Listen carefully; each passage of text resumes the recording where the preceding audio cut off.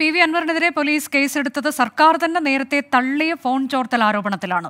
ഒപ്പം നിന്നപ്പോൾ സംരക്ഷിച്ച വാദങ്ങൾ എതിർചേരിയിലായപ്പോൾ സർക്കാർ മാറ്റിയെന്ന വിമർശനം ഇതോടെ ശക്തമായിട്ടുണ്ട്. പോലീസിനെതിരെ തുടങ്ങിവച്ച പോര് മുഖ്യമന്ത്രിക്കും സി പി ഐ എം നേതൃത്വത്തിനുമെതിരായ തുറന്ന യുദ്ധത്തിലേക്ക് എത്തിയതോടെയാണ് പി വി അൻവറിനെതിരെ കേസെടുത്തത്.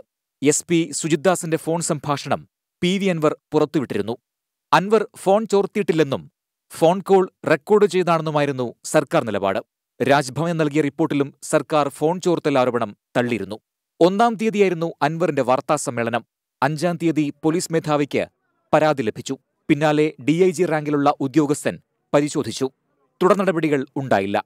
അൻവർ ആരോപണങ്ങൾ കടുപ്പിച്ച് ഒടുവിൽ മുഖ്യമന്ത്രിക്കെതിരെ തിരിഞ്ഞതോടെ എം വി ഗോവിന്ദൻ വാർത്താസമ്മേളനം വിളിച്ച് പി വി അൻവറുമായി പാർട്ടിക്കിനി ബന്ധമില്ലെന്ന് പ്രഖ്യാപിച്ചു. ഇത്രയും നാൾ അനങ്ങാതിരുന്ന police C P I P V Anvar പൊതുസമ്മേളനം വിളിച്ച് നിലപാട് പ്രഖ്യാപിക്കുന്ന ദിവസം തന്നെ കേസെടുത്തത് പ്രതികാര നടപടി എന്ന വാദത്തിന് ബലം നൽകുന്നു.